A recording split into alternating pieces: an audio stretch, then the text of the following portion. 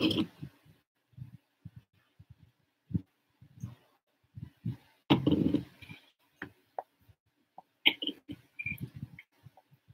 sound check. Yan, teka. Hello, sound check.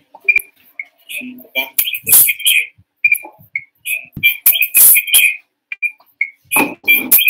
Ayusin ko lang kasi may feedback sa akin. May feedback yung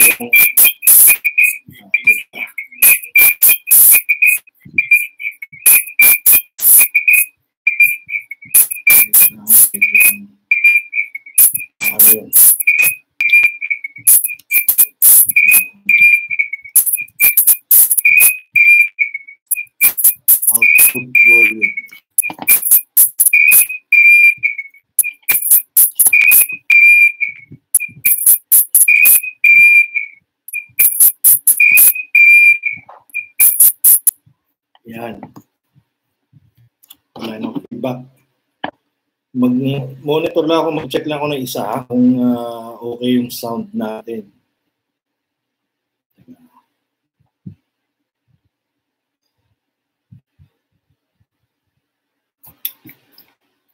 Wait lang. At least hindi naman pala masyadong delay. Maganda yung ating uh, signal. Medyo malabo lang yung video natin. So wait. And uh, pwede kayong mag-comment ha.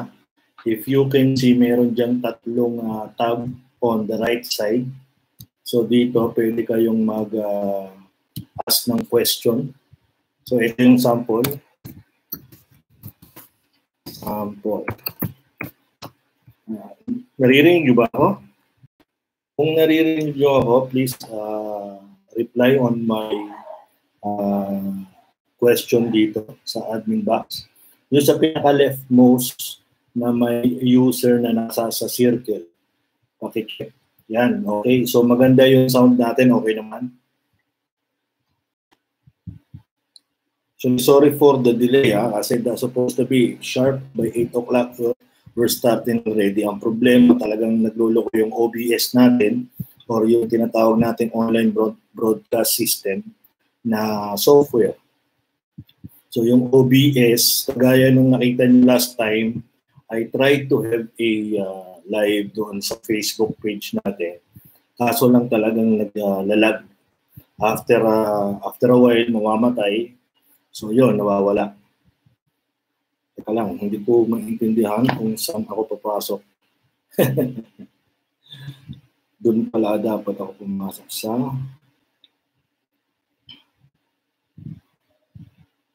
webinar. Okay. ME slash webinar. Send. Okay, sige, paki ano nga, uh, paki-type nga lahat ng active para lang malaman natin kung ilan kasi on our registration we have 37 na mag-a-attend ngayon. So para bago tayo mag-start, ito yung ating kailangan gawin. So mag uh, ila, yung name hindi na natin kailangan palagay. So sabihin mo lang kung how many years of experience na sa safety at saan kayo nagtatrabaho. So paki-type naman habang hinahanap ko lang yung ano, kasi kailangan ko din ma-monitor kung gaano ba katagal yung delay.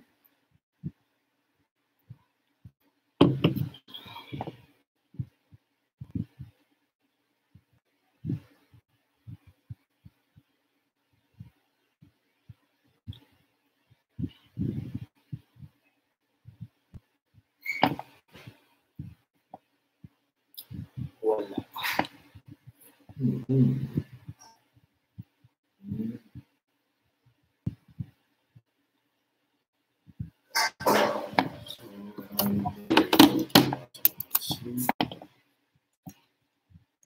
Anyway, kahit hindi na naman ako mag-monitor, as long as naririnig mo ako, okay na yun.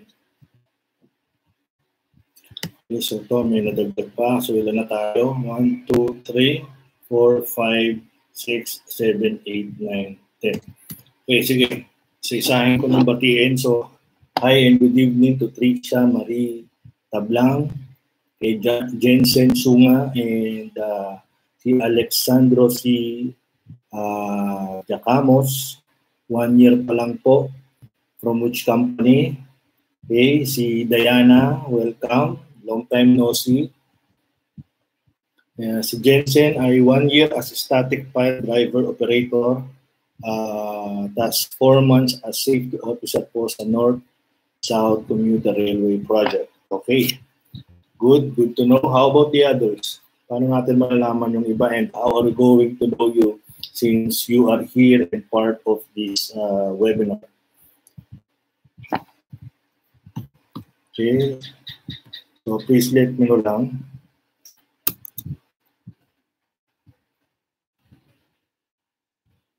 Now, kukuhanin. Alright. I could have my monitor. Uh,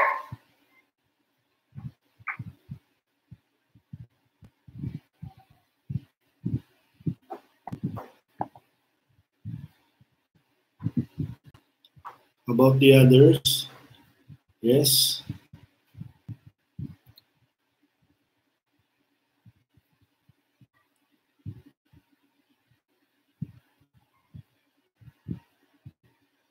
Kunti na lang ha, kunti na lang.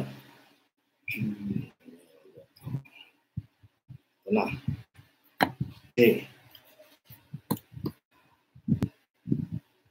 So yan, nakapasok na tayo and I could monitor na din. Si uh, Celsa Bilbar, wala pa pong experience bilang safety. Gusto ko lang maging safety officer. Okay, that's good. So dito, sabi nga natin eh, want to get hired. Sabi natin doon sa ating uh, uh, image, doon sa ating post, want to get hired or raised easily as a safety officer. So kasi karamihan ng ating problema ngayon dito sa sa safety, di ba? Ay yung ano, yung yung yung problema ng mga baguhan. The first time na mag-enter ka sa sa larangan ng safety, eh nahihirapan tayo maghanap ng mas magandang opportunity. So yun yung ating problema.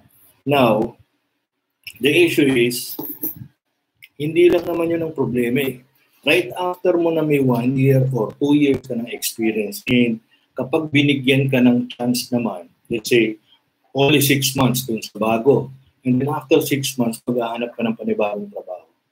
What will happen? Ang hirap pa rin makahanap ng trabaho. Ang advice ng karamihan, especially yung mga nandun na dun sa sa mga medyo maganda-ganda na yung experience, mahaba-haba na experience nila. So what used to happen is, i-advise ka nila especially sa Facebook, sasabihin sa'yo, pagtyagaan mo muna yung mga subcon or magtiis ka muna sa mababang sweldo. So yun yung, yun yung kadalasan na i-advise sa atin. So but the problem is, after two years, after one year, or uh, sometimes six months, especially kapag mga six months, what will happen? Kapag lumipat ka ng ibang kumpanya, same pa rin yung scenario. Same pa rin yung sweldo kasi ang pagbabasihan na lang is it's not where you came from. It's what you can do for them. Okay? E ngayon, kapag hindi makita yun ng employer, what will happen? Ang ibibigay nila sa'yo is whatever you are getting from the previous company. So wala silang option, options eh. Wala silang basis. Okay? So yun yung mangyayari sa atin. Kaya kadalasan, ang bagal ng progression ng ating salary range. So, kung mapapansin mo, supervisors na sumusweldo pa rin ng mga 20,000 or, or, or 25. Pero imagine supervisors with a, hindi man lang makahabot ng 30,000. Di ba? And and yet some some of them yung mga nasa sa superintendent level or or especially sa general industry what what used to happen Diba? Parang, parang you're acting as a safety manager. Pero, ang sweldo mo is parang pang supervisor lang. So, di ba? Yun, yung, yun yung medyo mas masakit. So ngayon, this is what we're going to do. Uh, pag-uusapan natin is what will happen to our responsibility at this point in time na pagbalik mo sa trabaho, especially yung mga excited nang bumalik sa trabaho, even though ang, ang NCR ay nasa sa MECQ or Modified Enhanced uh, Community Quarantine. So ano ba ibig sabihin ng MECQ? This is the midway between ECQ and PCQ. Okay?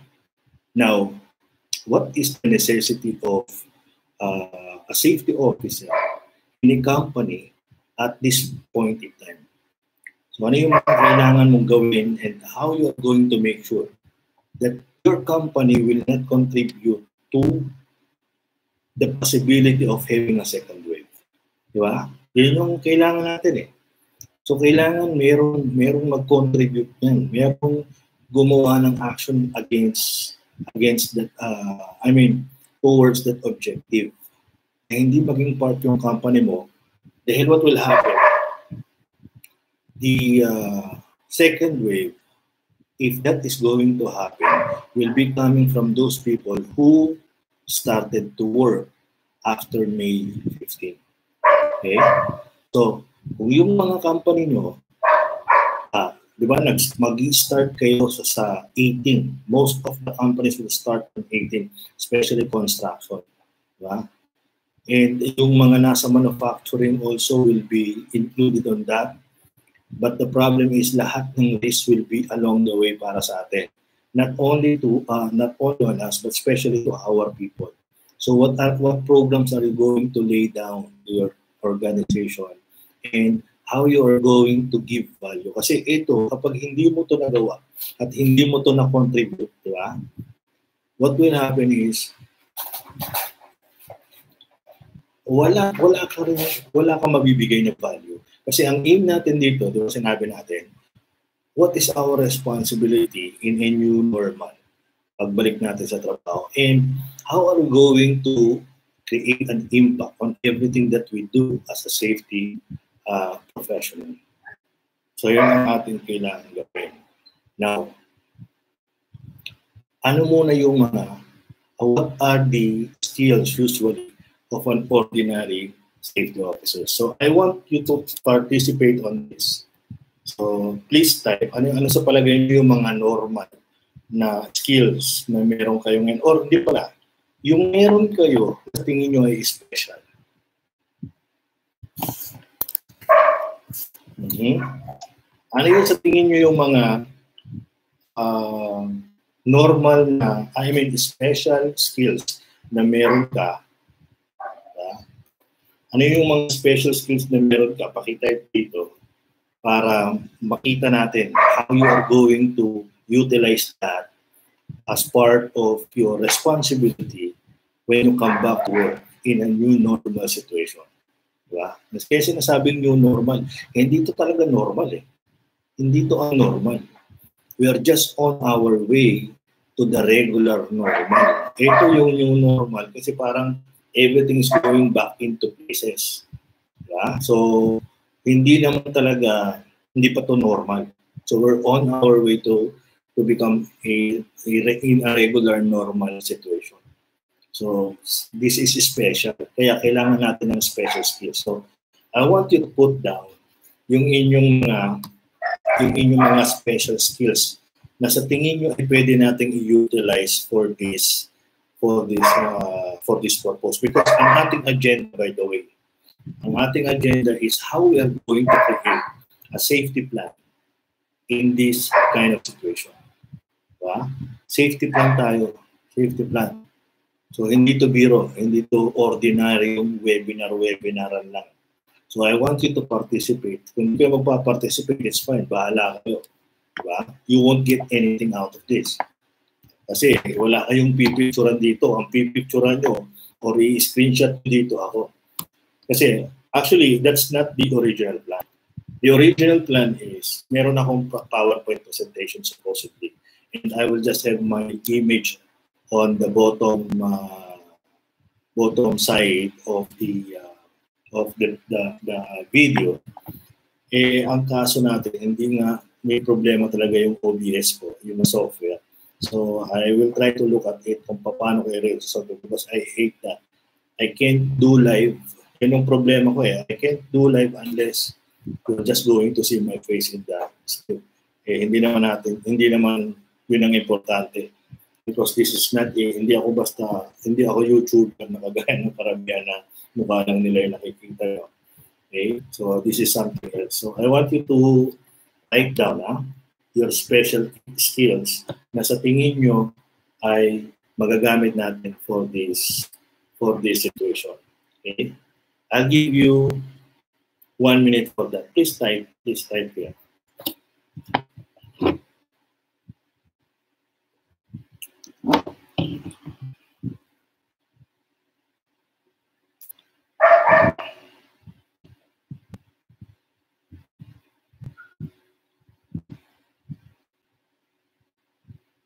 Makakakala ng iba, recorded daw to.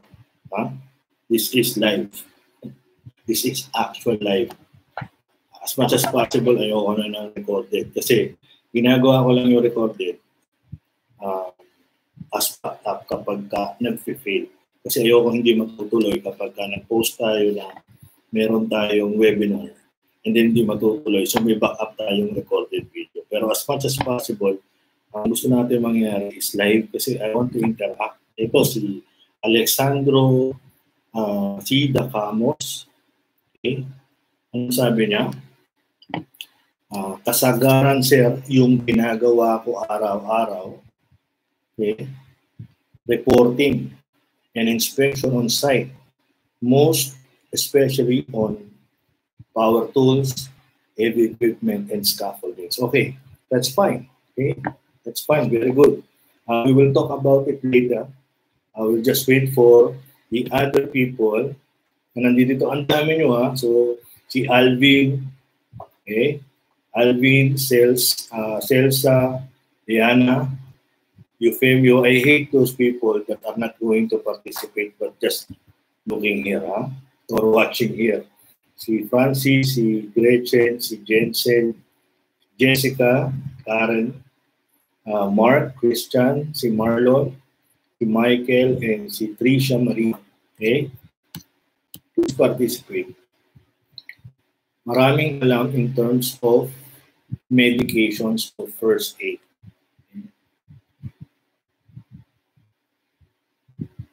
Uh, shout out sa inyong lahat. Ha? Shout out sa inyong lahat na nagpa-participate. Dalawa pa lang mamaya, after ng live natin, i-announce ko, yung mga uh, uh, most uh, attentive na participants ng ating webinars will receive a free coupon. Ha? Matindi yun, o wala kayo. Uh, establishing workplace safety and health committees. Okay? So yan yung skill ni Tricia. Uh, pag-establish daw ng workplace safety and health committees. So how many times are you going to establish safety and health committees? Because if, if you did it once, okay, anyway, we're, we're going to talk about it later. Uh, what I'm trying to ask is, ano yung mga special skills nyo na sa tingin nyo magagamit natin dito, ha? dito sa new normal. Hmm. Okay? Sige, go ahead. I will wait for you kasi hindi ako mag-umpisa unless uh, lahat ng mga nandiyan sa atin ay nakapag-type na. I will, I will try to discuss every details. Walang problema. Huwag kayong matakot kung mali yung inyong i-pinost, ha? Or, or yung comment. Eh, wala naman talagang perfectong tao sa mundo. Just so happen na sometimes, di ba, kailangan tanggapin natin. Because every time that we have mistakes or we did some something wrong, eh may natututunan tayo doon. Okay? Sige. Wait lang ha.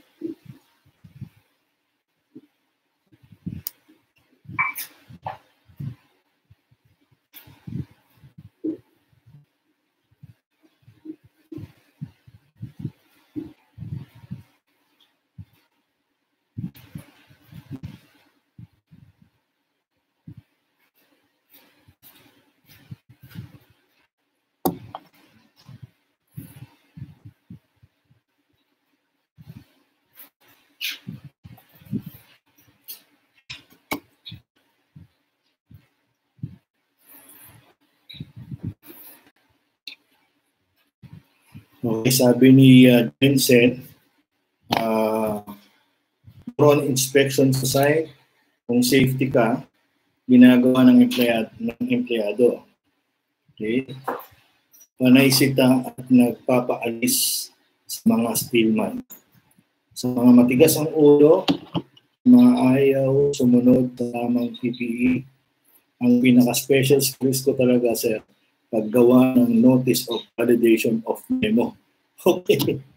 so, ayan, disiplina, yan pala si Jensen Sunga. Okay. Si Jessica naman, looking forward to be a safety officer. So, as of now, wala pa po akong experience. Uh, nursing graduate o oh, frontliner. Okay. But never pa po ako nag-board already uh, already taken the boss okay, and planning to take the course after the pandemic. Okay, yan. Isa pa rin sa pag-uusapan natin yan. Kung uh, what is the implication of this kind of things doon sa ating career direction. And by the way, alam nyo ba guys, meron tayong free online course sa sa ating Sustec, uh, Sustec Online Academy. So libre yun, you can register anytime. Much better kasi especially dito sa mga bago so that you will have the direction on how you can how you can ensure na merong merong direction yung talaga yung inyong inyong career as a safety officer. Ayan.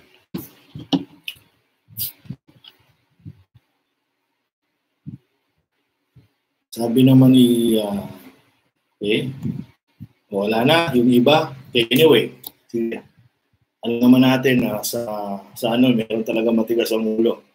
And we'll try to hide. Ito yung mga tinatawag ko na last last row students. Di ba? As much as possible, they will hide behind those students in front of them para hindi makita ng teacher sa klase. Okay? Ito, tandaan nyo ha, this is the law of the classroom. Sabi ni Kim Chu. Okay. Anyway, uh, let's go back. Let's go back to, to our topic. So, yun nga. So, kaya ko tinanong yung special skills because ang number one aim natin is how we are going to incorporate in our safety plan. Ito na kasi yung normal na ginagawa niyo. This is the regular normal na ginagawa niyo every day na pumapasok kayo bilang safety. Yes, of course. Di ba? Yan yung, yan yung inyong pinirmahan eh, na job description. But there is something else that may prevent your project not to continue. So kasi yun yung ating pinaka-objective bilang safety officer.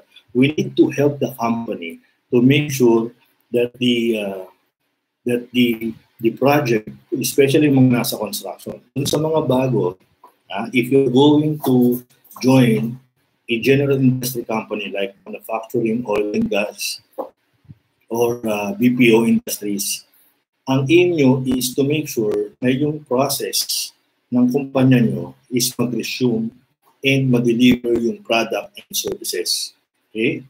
While on the construction side, this is based on projects. So ano yung kontrata nyo? What are you going to deliver at the end of the project or contract? So ang kontrata is about civil works or civil uh, civil engineering, they mean to say that is what we're going to deliver at the end of the contract. Meron timeline yung project and you need to make sure na yung project na yan ay ma-deliver on time. If not, that will be a big problem. So, we should never be happy. Ito yung ha, para sa mga bago pa lang papasok sa pag-safety. Probably in your training sa boss and cost, that's why eh yan yung ating pinaka-hesitation sa lahat eh. Di ba? Most of the trainers right now, or even before, yan yung itinuturo sa mga bagong papasok na maging safety. Wala kayong gagawin kundi maghanap ng mali sa site at pigilan at stop ang trabaho. When you stop the work, what will happen is hindi matatapos yung project. You will be uh, out of timeline. Di ba? So, mauubos yung time mo that is stipulated in the contract. And ang kalalabasan niyan, hindi nyo di-deliver yung services. then lalabas talaga na may hina yung kumpanya nyo. Based on 1047.2, di ba? Or 1047 yung paragraph sa, sa OSHA standard natin. Sinabi doon that a safety officer or safety man must be the principal assistant and consultant of the employer in managing health and safety of the workplace. Hindi ikaw ang manage ng health and safety of the workplace. You will be advising your employer what to do and how to do it effectively para para ma, ma-manage yung workplace ng maayos in terms of hazards and risks. So meaning to say, you need to make sure na maibigay mo yung dapat na mga recommendations. Yung mga tamang recommendations para hindi magkaroon ng stop work. Well, ang sasabihin naman ng karamihan ng mga safety officers, eh hindi sila sumusunod eh. They don't want to follow. Eh, ang tanong, ano bang pinapaksunod mo? Ano bang ipinapatupad mo? PPE lang ba? Safety is not about PPE only. Okay? Ang main objective of safety ay to ensure that all the losses will be reduced. Diba? Ito, okay? So later on, I will I will read your uh, comment, Mark Christian. Um, I mean, yung ano, yung uh, yung every time na magpag-start tayo ng work, losses will be there. Happen, eh, ikakalugi ng company mo yun. Sorry ah, medyo mabagal yung internet, bumagal. Kasi sabi ko kanina, mabilis. So yan, medyo nag-iikot. Anyway, balikan natin yung sinasabi natin about uh, ano ba yung talagang kailangan natin na responsibility or dapat natin gawin. Regarding doon sa pagpapastop ng work, hindi talaga yun ang ating main role as a safety officer. That's the reason why everybody doesn't like safety. Here in the Philippines, hindi siniseryoso yung mga safety.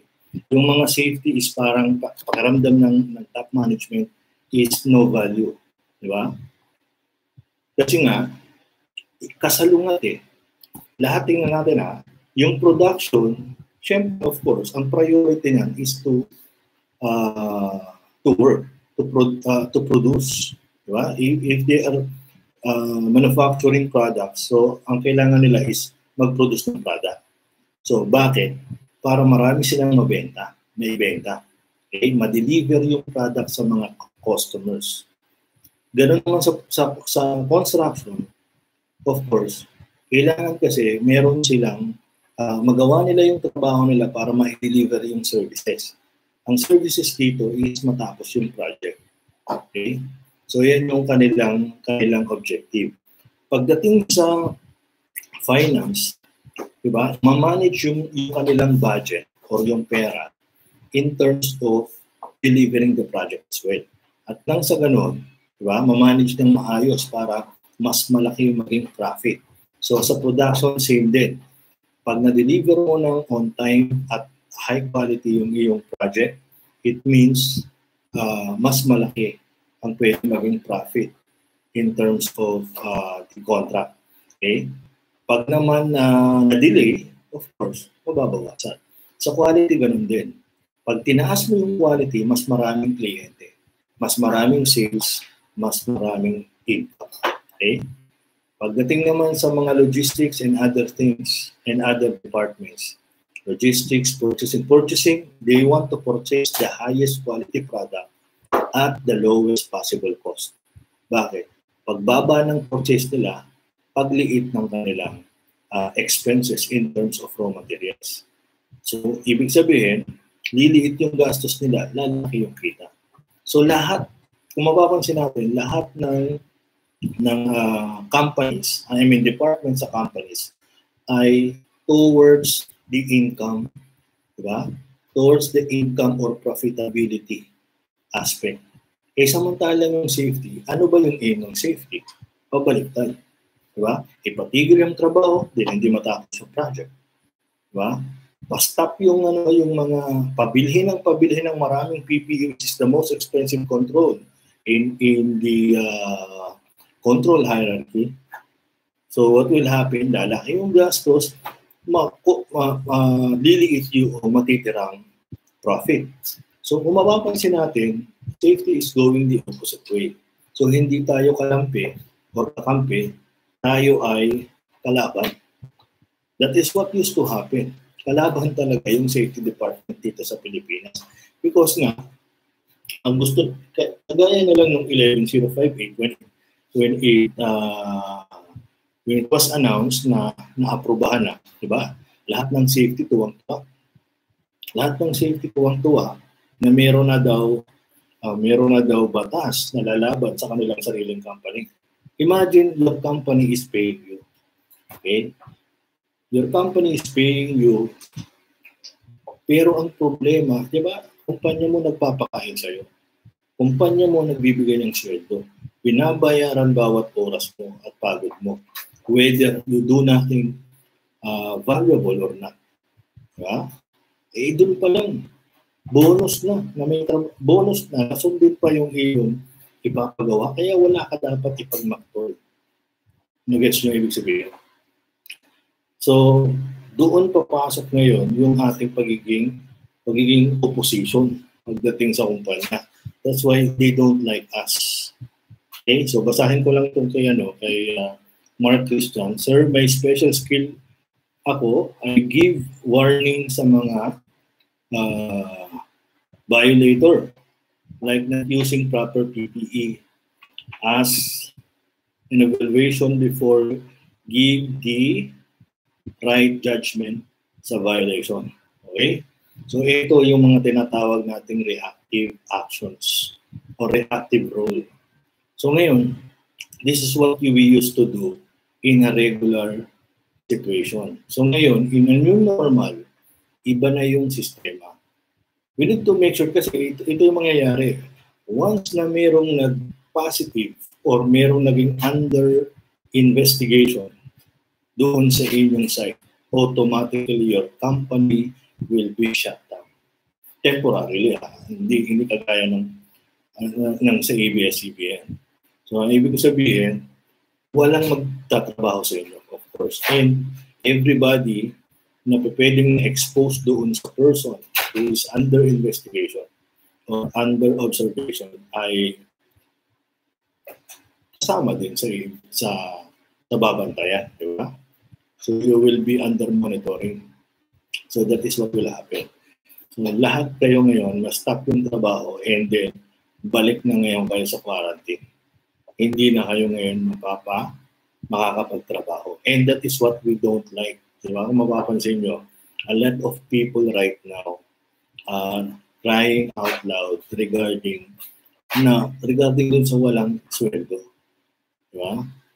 Asa tayo dun sa binibigay ng dole na 5,000 or sa DSWD na 6,500 or sa bigas na binibigay sa atin na sinasabi na amelioration.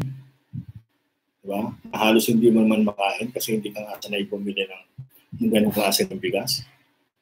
And then bibigyan ka ng dilata. Di ba? Bibigyan ka ng beef. Bibigyan ka ng sardinas. Eh, hindi ka nagsasardinas. So talagang masakit sa kalooban mo yan. Or bibigyan ka ng corned beef. Eh, ang corned beef mo, pure foods. Eh, bibigyan ka ng star. O Argentina. Di ba?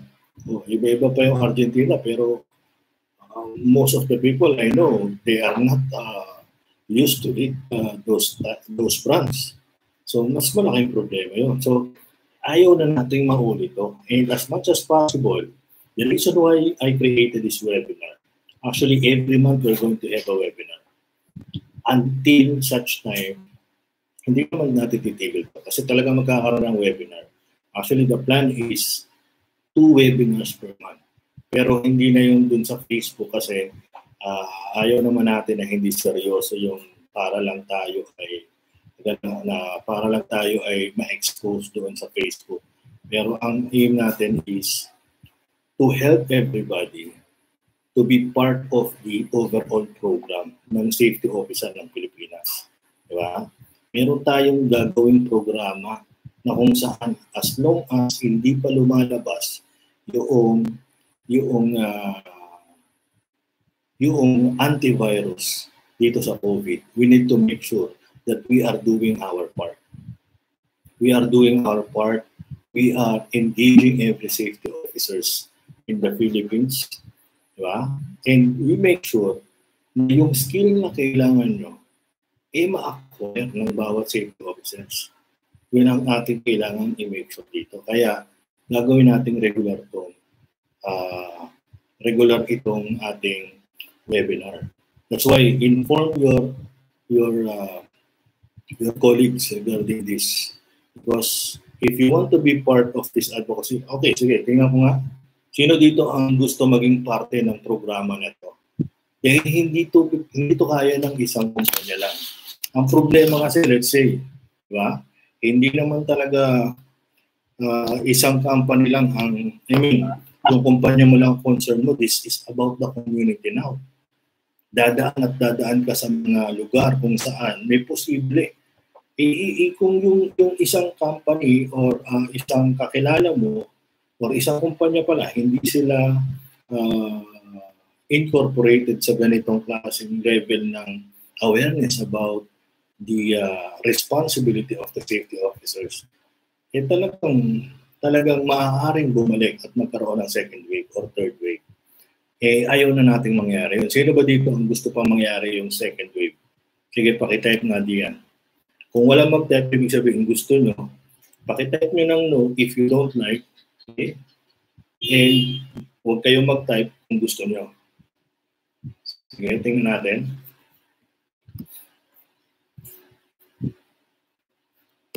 No kung ayaw nyo, and just mute yourself. And it means na gusto nyo na magkaroon ng second wave and you like the experience of having this COVID. You know, I hate this experience. I hate this experience. Somehow, okay na rin.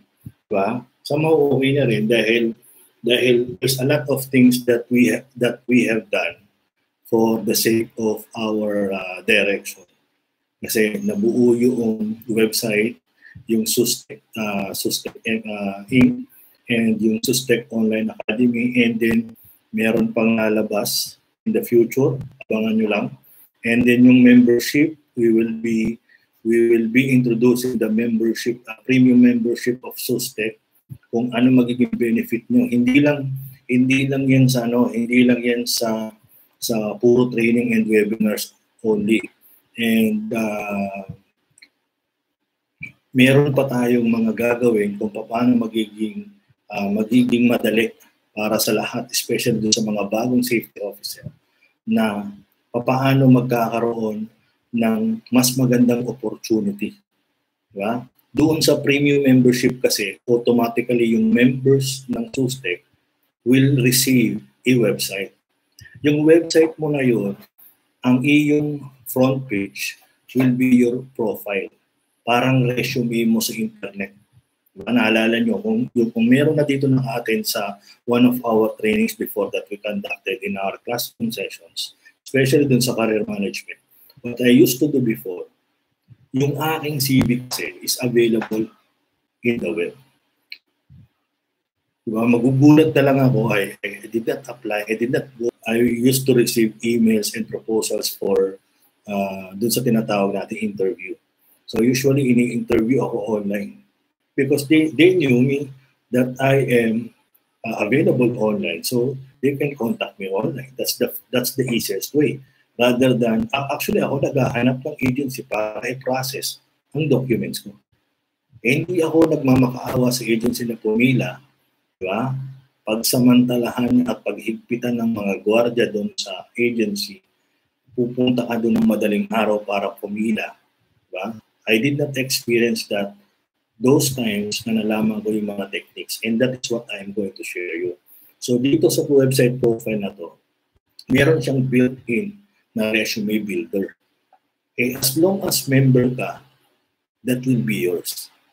And kagandahan nun, marami pang pwede na maging part, uh, maging benefit ng isang safety officer. So this is what will happen. I, um, lalabas kasi yung aming mga consultancy and some softwares that will be used by the companies. Itong mga software na to na i-offer namin sa mga kumpanya will be free for them. Okay? That is a consultancy software. So libre nilang ma-access yung consultancy software provided na yung mga trainings na kailangan ng mga safety officers at ng mga key personnel nila or focal points will be coming from us. But all the trainings will be online. Kasi ang kagandahan sa online, eh, you, we, we can do it on our free time. You can do it in your free time. Di ba? Meron kang, uh, halimbawa, two hours a day and then you are going to do it in uh, four days you would be uh, finishing a an 8-hour course. So ganun kadali. You, you don't need to bother to wake up early in the morning para pumunta ka doon sa sa sa sa training center. And problemahin mo yung pamasahe, problemahin mo yung uh, problemahin mo yung iyong uh, tinatawag nating uh, kakainin, di ba? Yeah, because some, most of the time yung merong mga training center like us, na hindi kami nagpapakain. Walang libreng pagkain. Kasi you did not enroll for the course because of the food. Di ba? Ang iniiwasan lang namin mapulaan pa yung pagkain ay hindi masarap yung pagkain. So, the, parang the more you talk, the more mistakes. So dito, the more you offer, the more vulnerable your offer will be. So that will be a big problem. So yung iniiwasan natin. So pinapasimple lang natin Okay? Yeah, so yun yung ating yun yung ating uh, yun yung naging benefit dito. So that's the good thing about doon pa lang suwabe na. And there will be exclusive webinars para sa members. Yung exclusive webinars na yun, libre sa mga members, of course. Meron tayong public webinars like this. This will be free for everybody. Kasi parte sila ng program. Pero parte ng pagiging elite eh yun yung programa natin sa premium members. Pero parte naman ng ating advocacy, yun yung para sa lahat ng mga safety officer ng Pilipinas. Nag-gets yung ibig sabihin. It's, this is not only for the Filipinos who are working here in the Philippines. Kasi pandemic yung pinag-uusapan natin. Di ba? This is all over the world. Kaya kahit nasa ibang bansa ka, it will be applicable for you as well. And ang, ang iniiwasan natin is ayaw natin na magkaroon magkaroon yung uh, ng second wave. Kasi nga, masakit sa bulsa sa karamihan. Di ba? Maraming dumadaing dyan. Uh, like, eh, especially if you don't know how to utilize the internet. Okay? This is the good thing about the website profile. Magkakaroon din ng storefront and affiliation program. Sa affiliation program, you will receive an incentive. Incentive on every sale. Di ba? every time may magpa-member, may bumili ng mga products na digital products na Sustec, you will be receiving, uh, you will re- receive incentive. So, in a month, probably, baka more than pa doon sa subscription fee mo yung iyong ma-receive ng incentive. So, at the end of the day, you're not spending money. You're earning additional income from the side. So that's the good thing about the program. Eh, bukod pa doon, this is the most intensified benefit. Libre mong ma-access lahat ng tutorial videos na applicable sa iyong plan. Lahat ng webinars, eh, recorded webinars, lahat ng online courses na available sa iyong plan. And aside from that, meron pa tayong mga software. Yung software, eh yun yung tinatawag natin na na uh, risk calculator para sa risk assessment, which is one of the skill na ifo-focus natin dito sa webinar na to. Di ba? And meron tayong investigation software. Actually, ready, ready na lahat ng software. The only problem is uploading the, the materials for the courses. It took a lot of time. Diba? Parang ang isang 40 hours course, like yung aming upcoming e-books and e-course, through PSSP or uh, produkto serbisyo para sa mga safety professionals. Ito ay accredited ng STO which is the uh, part owner of SUSTEC. Okay? Kaya SUSTEC yan. And part owner of SUSTEC also is asset. So, nag-combine-combine na to. And itong SUSTEC talaga are the uh, digital uh, people, techno, uh, I mean, ito yung mga IT people talaga. Kaya natulungan tayo na maging feasible tong ating online even at the midst of this outbreak. Okay? So, yun yung ating gagawin. Kasi most of the time, halimbawa, kunwari sa inyo, uh, yung mga safety officer, uh, di, di, uh, yung mga gustong ipatraining ng company nyo para maging SO2 or maging SO1, eh, ang problema hindi mahugot-hugot sa production because walang oras and the production will be will be uh, prolonged, di ba? So, ano mangyayari? They will they will just put it online and as long as uh, kinukuha nila at nagtitake sila ng course online ng EBOS and EBOS, matindi yung magiging uh, magiging uh, uh, matindi yung magiging epekto. Okay? Anyway, uh, in-introduce ko lang yung sa membership. We, I am not going to tell you about the price, about the membership. Pero hindi ito sobra and hindi ito uh, uh, hindi ito unaffordable. Gagawin nating affordable to dahil sa ating purpose. Okay? Uh, same scenario in our factory, pinapa-seminar for compliance purposes. Well, that's the only reason. Tanggapin natin ang buong katotohanan na ang safety ay gagawin lang ng isang company for compliance purposes. Bakit? Wala kasing nag-introduce sa inyo ng safety ay hindi para lang sa compliance. Ano pa ba sa tingin nyo ang ibang purpose ng safety? Meron ba kayong alam kung anong purpose ng safety sa isang kumpanya. Para lang maging ligtas yung mga tao. Eh di para maging ligtas yung mga tao, huwag nyo papasukin. Stay at home. Di ba? Ganun lang naman kasimple. The problem is you need these people because these are the resources of your company to make your, their business feasible. Nagtayo ang kumpanya ng negosyo para kumita at hindi para mag-alaga ng tao. Okay? Kung para mag-alaga ng tao, dapat ang itinayo nila ay hindi kumpanya at hindi negosyo. Dapat ang itinayo nila ay uh, foundation, di ba? Foundation or uh, ano pa ba yun? Mga parang uh, social welfare ng mga kwan, ng mga klase ng organisasyon, hindi hindi business. Okay? The purpose of them, ito kasi yung problema eh.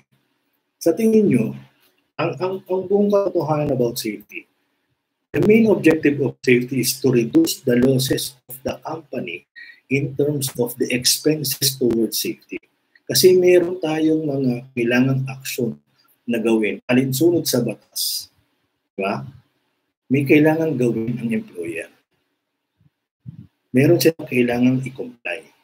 Now, ang ating party bilang mga safety officer, because this is our special skill, ang special skill na tinutukoy natin is how are we going to make our company comply on the legal aspects in terms of their business, uh, in terms of safety, uh, as per the OSHA standard, in the least expensive way. Ano ibig sabihin? No? Sa pinakamurang paraan. Di ba? Pinaka, yun kasi ang kailangan natin eh. Yan kasi yung ating responsibilidad. How are we going to make sure na mag-deliver yung trabaho on time? And how are we going to make sure that we can comply in the lowest possible cost? Di ba? Yung kasi yun. Kaya nga, isa sa mga advanced training after your post and post, loss control management. Hindi nyo napapansin.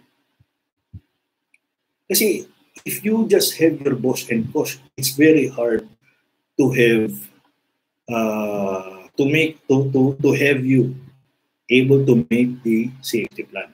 Kasi yung plano is based on how you are going to reduce the cost in safety. Tama yun yung sinasabi mo. So that's why this is what, what we are doing. Bakit namin ginawa yung basic courses na i-push na yung EBOS and ECOS. Actually, napakatagal ng plano yan. Since Mitiga days, this, this is a plan already. Tagal na yan, since 2018. The problem is hindi siya matuloy-tuloy. Kailangan lang pala ng COVID para matuloy. So right now, nangyari tong COVID and we used to be staying home for more than two months, I think. Diba? Eh, nagawa ngayon itong platform. Nagawa itong platform. Well, yung iba, ang ginagawa ng ibang STO kasi alam na nila what will happen. In the GCQ days, diba? in these days, until January next year, walang magiging classroom training. Walang classroom training. So everybody is subscribing to Zoom. So sa Zoom kasi, you can speak. Diba? You can speak. I can speak. Eh sayang naman kung hindi naman magsasalita eh. Di ba? Dito nga magta-type lang, hindi, hindi pa mag-type eh. Doon pa sa Zoom. Di ba? Usual na magsasalita din yung trainer. Eh bakit Zoom? Now what's the what's the problem with Zoom? Ito yung problem with Zoom. If we started by 8 o'clock in the morning and we are going to end up our Zoom class at 5 o'clock in the afternoon, you need to be there the whole day. Eh dito sa online platform na ginawa natin, ginawa na natin yung ngayon, di ba? Eh pwede mo siyang panoorin yung video lessons anytime you want. And chinap-chap natin yan for every 30 minutes. Lahat ng video lessons will be only for 30 minutes. Kaya kung ang available time mo lang ay 30 minutes, at least ang progress mo is 30 minutes. Eh, di ba? Eh, one, le- one video lesson. Kung ang isang section ay merong, like, like in EBOS, sa aming EBOS kasi, meron tayong, meron tayong several, several lessons. I think around uh, 16 lessons. 10 kasi, and 4, sec- 5 sections, and then 10 hours. That's 20, 16 nga, 16 lessons. Kasi 8 hours eh. Di ba? 8 hours in a day, 5 days. So, convert natin yung 5 days into sections. In every section, merong 8 hours. But every lesson is 30 minutes. So, 30 minutes times 16. That is how many lessons you have in one section. If you completed one section, then the next section until the fifth section, you will be able to complete the whole course. Kung Bosch man yan or Kosh man yan. Ganon din ang sistema sa LCM, sa Safety Program Management. And of course, sa TOT, meron din tayong TOT, but in TOT, something different. In TOT, may Zoom class. And in Zoom class, ikaw ngayon ay magpipresent in front of the other students and our trainers. Of course, with the panel. So, ganun yung mangyayari. Kasi may, may, may ibang, iba naman yung purpose of, of uh, TOT. So those are the different things that may happen in our kaya nga malaki pa rin problema doon sa class. Isa lang isa lamang ang iniisip ng karamihan ng mga STO to continue their business. But the thing is how to be able to help each company or each people na maging feasible pa rin in this kind of uh, new normal situation. Diba? Ito na yung new normal situation, wala na tayo magagawa and it's it's safer for us safety safety officer pa naman tayo so ibig sabihin if we're going to insist on on having a classroom training eh hindi yun safe para sa atin.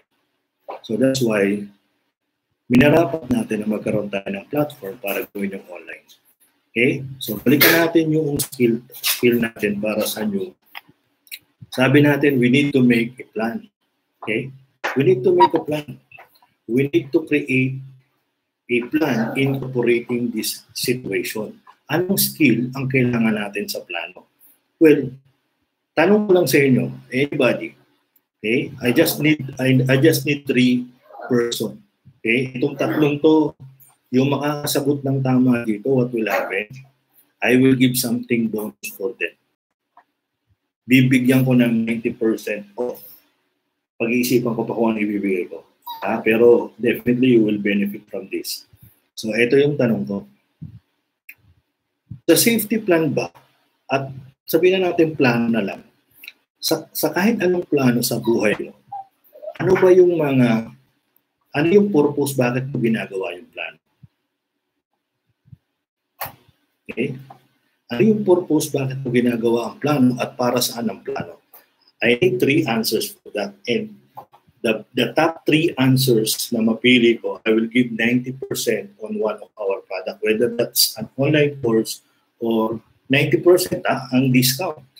So 10% na lang ang babayaran. Wait.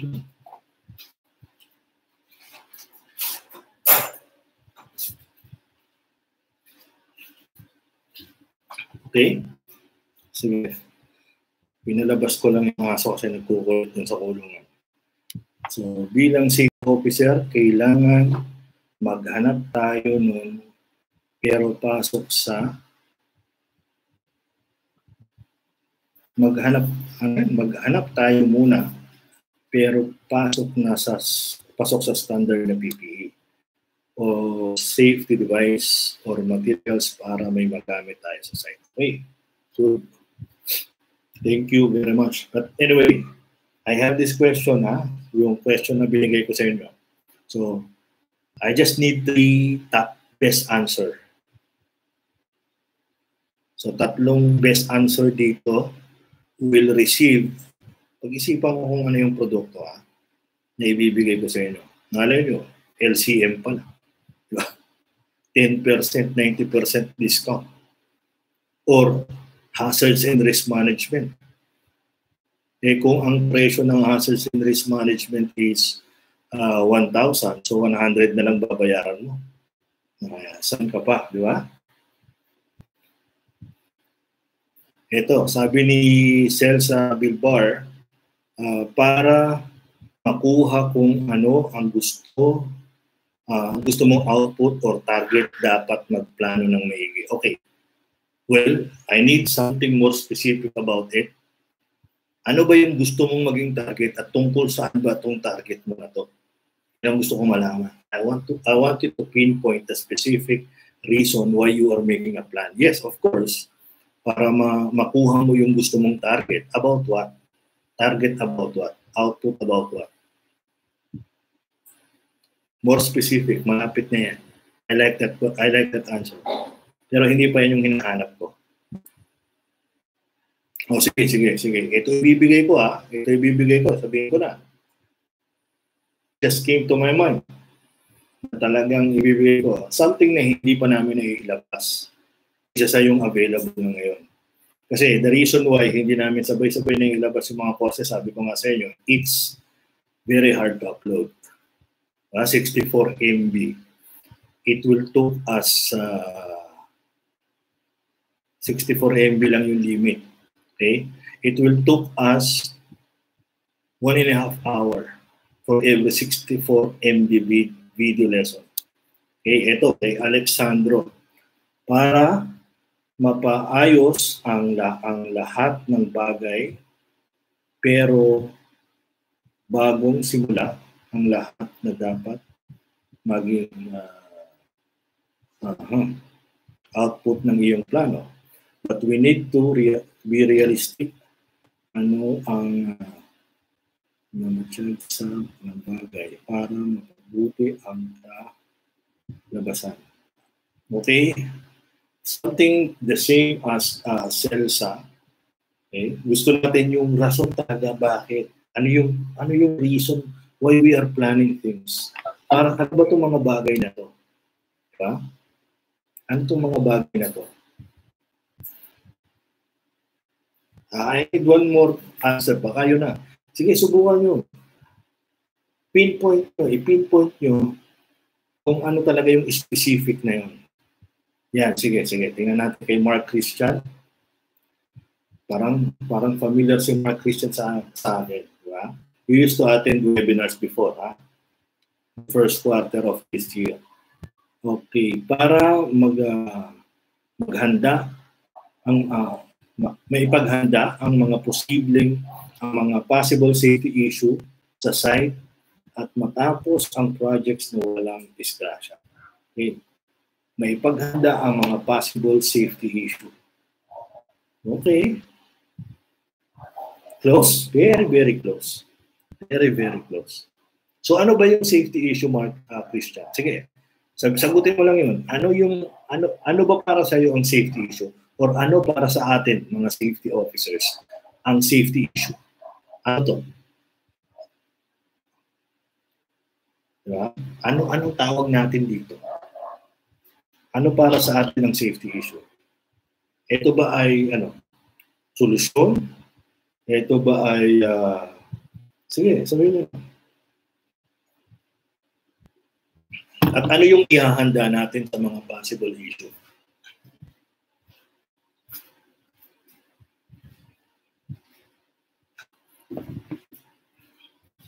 ano yung ihahanda natin sa mga possible issue natin sa safety? Kailangan mong magplano para doon sa plano mo doon ka uh, huhugot. Uh, may hugot to ah. Para maabot yung goal mo. Okay? Program. Okay. Well, uh, that is separating uh, Diana because program is after pa ng plano. Okay? Re-evaluation, nawawala po ako, sorry. Okay. Mauulit. Mauulit. Sige, sige, sige. Ito ha. Sabi mo kasi Jensen, kailangan mo magplano para doon sa plano mo doon kahuhugot para maabot yung goal mo. Goal mo para saan? Goal ba ito ng ano? And ito kay Mark Christian, so very, very close doon sa tamang sagot para mapaghanda ang mga posible safety issue sa site.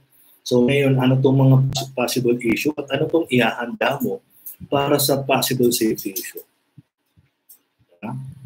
Yan na yun. Yan na yun. Try to answer that mark or anybody from you. Sige, subukan nyo lang. Just in case na meron na kayong it, ha?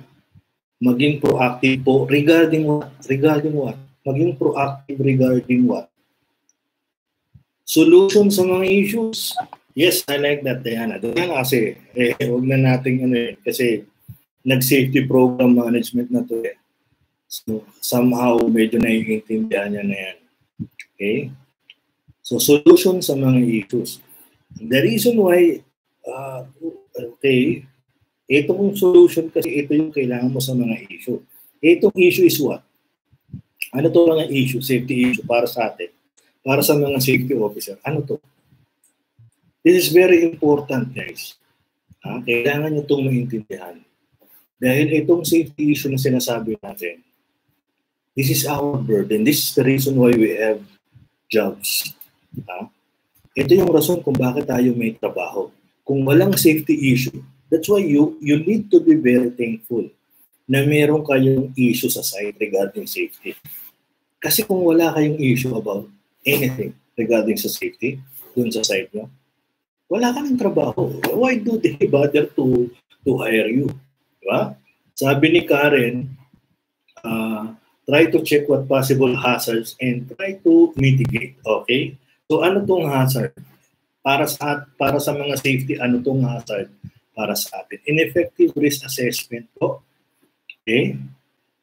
O ano ba yung ating ina-assess? Well, tama itong hazards but I need to I need you to categorize the hazards. What is this para sa ating mga safety officer? Diba? Ito yung mga issue. Sabi ni Celsa, alamin kung ano ang main reasons ng issue. Plan is the way for your... ang bilis eh. Uh, alamin kung ano ang main reasons ng issues. Mag-isip ng pinakamadali at pinakamabilis at maingat na solusyon para sa issues. Okay, I like the uh, answer of Celsa. Okay, Alexandro, plan is the way for your success and development. All success without have a problem. Makulit ka. Wait lang ha.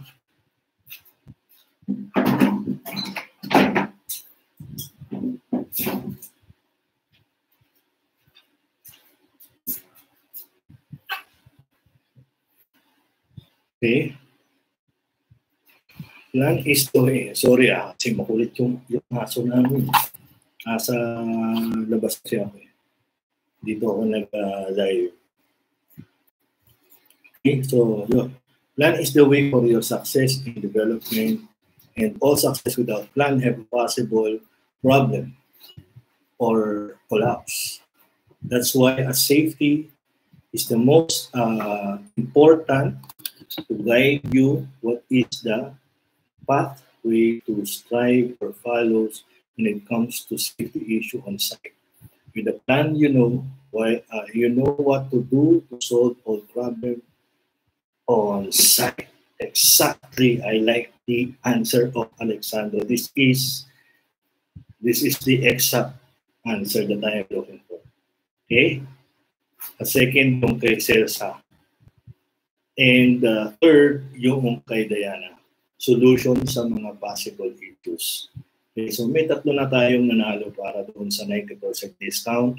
So what will happen, uh, standby lang kayo because we have your email. We are going to send you the coupon code ng 90% discount on anything that you want to purchase in Sustain.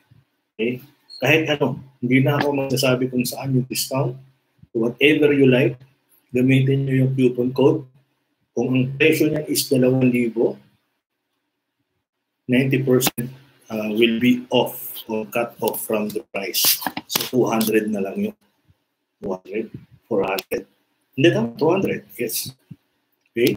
So yun yung yun yung mag mangyayari. So I will take note of that. So si Alessandro, si da, Dacamos, Celsa Bilbar, and Diana Serra will be receiving uh, 90% discount coupon. So anytime gamitin, wala expiration yan. Diba? So, yun na yun. Pag sinabi natin, bibigay natin yan. Uh, Francis Leo Marcos lang ang dating. Hindi, joke, joke. Okay? So, yun. Ang point natin dito is, the reason why I asked you is, bakit tayo nag-exist? Yung ating mga plano sa kahit anong bagay sa buhay or uh, whether that is a financial plan, uh, management plan, welcome. So, basta walang problema doon. Uh, may marireceive kayong email ha, regarding the coupon code. So anyway, kahit anong plano sa buhay, management plan or uh, or yan eh tinatawag nating uh, financial plan or kung ano mang plan, you have a problem and this sets of solution will be incorporated in a plan. Diba? kunwari may mga dapat kang gawin. Step 1, 2, 3, 4, 5, and so on up to 10. Yung 10 steps na yan, gagawan mo ng plano pa paano mo i-implement. Paano mo ka mag-take ng action. Let's say part of the plan is uh, part of the plan is to provide awareness to your people. So ngayon, gagawa mo ng plano, paano ka gagawa ng, paano mo bibigyan ng awareness yung mga tao. Okay? Uh, part of the plan or, or the solution dun sa problema is magkakaroon kayo ng uh, rosters, di ba? Or shifting para nang sa ganun ma-meet maliit space nyo. So you need you need to continue on exercising social distancing. Eh, ang dami nyong empleyado. So expect the fact that the maximum allowable distance will be established. So ngayon, since marami empleyado, you have to cut off. Yeah? You cut off the count para ma- ma- magamit nyo yung space because you don't have that much space now. Before, okay lang magdikit-dikit sila. But right now, this is a new normal. Then dapat, ma-exercise pa rin yung social distancing because that is as per the law na nilabas na ng uh, na direktiba ng uh, executive office. So, ibig sabihin, it has to be exercised during the MECQ sa NCR, kung NCR ka. But if you're working outside, doon sa mga GCQ areas, then that is something else. Sa GCQ, I think it's the same thing is going to be exercised, yung ating social distancing. Okay? So, parte yun. We have to identify all the possible problems. Lahat ng problema, nalagyan natin ang solusyon. And then lahat ng solusyon, gagawa natin ng plano. Diba? before gumawa na kayo ng mga procedure, meron na kayong mga procedure in the regular way. Yung pag regular yung situation, meron na tayong mga meron na tayong mga mga steps na ginagawa. Meron na tayong procedure. Ngayon, i-incorporate natin ang current situation regarding this outbreak. or the situation of the community in terms of the MECQ and the GCQ. So, i-incorporate natin ngayon to. And what are your plans? So, this is something that you need to understand. Okay? So, especially if you are going to apply doon sa mga bago, okay? Sana all daw may discount. well, malay mo mamaya, meron tayong ibibigay. Malay mo. Uh, that's why I, I, I try to try to make sure to to listen carefully on my questions and whenever I'm going to give another clue. So try. Try also that. Uh, tingnan natin kung ano pwede natin gawin. And huwag kayong mag-alala, this is not the only time that I, I will be doing that. Okay? Now, balikan natin yung portion yun, yung yung tungkol doon sa mga plano. So you have sets of solutions incorporated already this situation regarding our community. So what will happen is, gagawa mo ngayon ng plano. And then, uh, of course, you originally have plans. Now, you have to incorporate this plan. Ngayon, ang tanong, dito sa plano na ginawa mo, how, how sure are you that this plan will be implemented accordingly? Diba? Paano ka nakakasigurado na magiging epektibo yung plano mo? That your plan will not fail. So, ganito lang kasimple. Proactive safety is something like may plano ka, you have the solutions, pero iniisip mo na ano yung kahinaan ng iyong plano. Eh, ano ang kahinaan ng iyong solusyon? Let's say sinabi mo na, eh, kailangan magbigay ako ng awareness. Everybody in our organization should be aware of what is happening and what are the new rules that will be applied in the organization. So kailangan may awareness training program ka. Okay? But how sure are you na kapag nag-undergo sila ng awareness training program, eh, naiintindihan na nila talaga. You will be able to solve the problem of lack of awareness. Hindi na nila sasabihin na hindi ko kasi naiintindihan eh. Di ba? Or hindi ako aware. Or absent ako.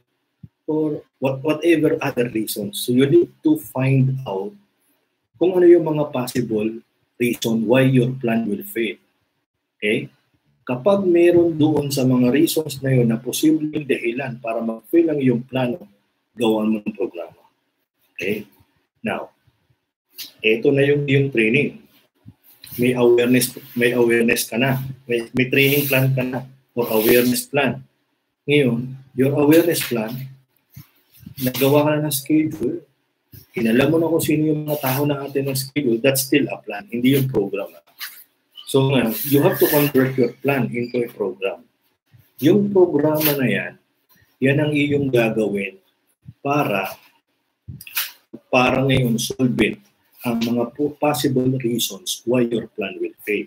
Kunwari, eh kasi yung mga tao, hindi naiintindihan and they were not aware uh, hindi pala ganun ang level of comprehension. So anong plano mong gawin? what will be how you uh, what type of programs are you going to incorporate in your plan well, ito yung tinatawag nating visual aids so ito yung mga maglalagay tayo ng safety bulletin ito yung mga incorporate natin yung mga toolbox topic di ba ito yung mga uh, another programs na nilalagay ko pa para masigurado na paulit-ulit itong nai-communicate No? So parang mga ganun yung proseso ng programa. So somehow ito hindi nyo pa masyado maiintindihan because you need a particular skill on doing these things. Okay? Pero I just want you to understand na ganito yung sistema na dapat magkaroon tayo. Ito yung dapat na skill na meron tayo bilang safety. Tapos na yung mga panahon. Okay? especially if you are just new here in our uh, group, di ba? Uh, kadalasan kasi ng mga safety officer, mag-survey ka na sa Facebook, gawin mo na yan on every sites. Lahat ang sasabihin ng mga yan, they are very proud of saying na nagpapastap ako ng trabaho. Di ba? They are very proud of saying na halos araw-araw nag-i-issue ng violation ticket or they're very proud of saying na na matitigas ang ulo ng mga tauhan ko, ng mga tao namin. Hindi walang matigas na, na ulo sa totoong buhay. Diba? Iuntog mo yan, sigurado ako putok yan. Walang matigas na ulo. Ang problema kasi, people are not going to listen if they don't understand what you are trying to say. So make sure you are being understood. Walang, walang susunod sa iyo kapag hindi ka naiintindihan or ang iyong argumento is not is not acceptable, diba? make sure your argument is acceptable. Hindi lahat ng panahon, diba? Hindi hindi pati uh, hindi lahat pati ng PPE na alam mo na kailangan na nasuotin nila is kailangan isuot. Diba? Sabi nga natin, if there is a problem, then that is about time for you to to to put the solution. Diba? Balikan natin yung ating problem and solution in terms of safety. Ang problema ng safety is hazard. Di ba? Problema ng safety, hazard. Ang solution ng safety, controls. Ang PPE ay control. Solution sa hazard. Now, kung walang hazard, kailangan mo bang gamitin ang solusyon or yung control? Kung walang hazard na nangangailangan ng PPE, kailangan mo bang isuot ang PPE? Anong tawag doon? Pagka sinuot mo pa rin? it's not because yan ang nakasanayan at yan ang yan ang ginagawa ng karamihan sa site at yan ang ginagawa ng mga senior nyo. Probably your senior, eh tumanda na yan ng ganyan. Tumanda na na mali ang ginagawa. I don't tell that they are perfect because they are senior. Nobody's perfect here. Even your boss probably is wrong on what they are trying to impose you to do. Okay? Eh, tingnan natin ha, Isang sample dyan sa construction site, yung visibility vest. Supposed to be, if that is a PPE, it means it is a control. A control is a solution to a certain problem which is hazard. Anong hazard? Anong hazard? Bakit mo ginagamit ang visibility vest? Sabihin ng iba, ito, palagi na lang to na sinasabi ng mga bagong safety na na-encounter namin na ang visibility based daw ay solution sa isang problema na tinatawag nilang invisibility. Kasi para daw hindi mabangga ng mga equipment, tama? Para mas madali daw sila ma-identify or makita. Bakit invisible ba sila? Is there a problem of invisibility? Kung may problema ng invisibility, din pasukutin mo ng visibility best. Or kung ang tao ba ay walang walang vest. Ibig sabihin ba nun, hindi sila makikita? Kahit naka pinakamaitim na tao niya, naka-black na damit, sa araw, kitang-kita mo yan. Sa gabi, of course, hindi mo kita naka-black. Why are you going to require people to wear black shirts? Require mo sila ng other colors that are visible at night. Now, sabi natin, para mas madali lang makita, mag-visibility base kung gabi o sa madidilim na lugar. Sa madidilim na lugar, wala bang ilaw? O sa site mo ba paggabi walang ilaw? Meron. So kung may ilaw, maliwanag ba? Sapat ba yung ilaw para makapagtrabaho yung tao? Sapat yung ilaw, of course. Eh, hindi pa pwedeng nagmamartilyo sila. Eh, hindi, hindi nila nakikita yung pako. O hindi ibig sabihin, kailangan merong reflectorized na pako tayong gagamitin din. Kasi kung ginamit mo sa tao, dapat yung mga materialis mo, eh, eh seems din. Kasi the environment has a problem in terms of uh, intensity of, of light or luminous. Diba? Eh, ibig sabihin, you are going to make sure that the light you provided at site, yung mga light tower natin, ay sufficient enough para makapagtrabaho sila. So it means kita mo na naman ulit yung tao. Walang problema about invisibility. Why you are keep on using this solution? Eh, hindi siya solution sa problema dahil wala yung problema. Nag-guess nyo ibig sabihin? And aside from that, kung sa madilim na lugar, kung walang ilaw, there is nothing to reflect on the reflectorized west. Eh kung walang ilaw, hindi mo makikita yung reflect yung reflector. Walang nagre-reflect na ilaw eh. Then ibig sabihin, it is useless on the dark, dark uh, areas. Useless yung iyong vest.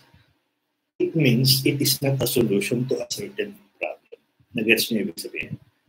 Ito ay kailangan na, na skill natin how you are going to analyze and provide yung solution. The thing is, the most important skill na kailangan nating maipakita sa ating mga company if you want to be uh, embraced by your top management as a safety officer and become valuable and become the most important safety officer in your site is ipakita mo na mayroon kang sense na yung ginagawa mo ay mayroong value. Diba? Nakakatulong sa kumpanya. Imagine if you will be able, let's say, 1,000 employees, Magkano yung ano, magkano yung vest isang piraso?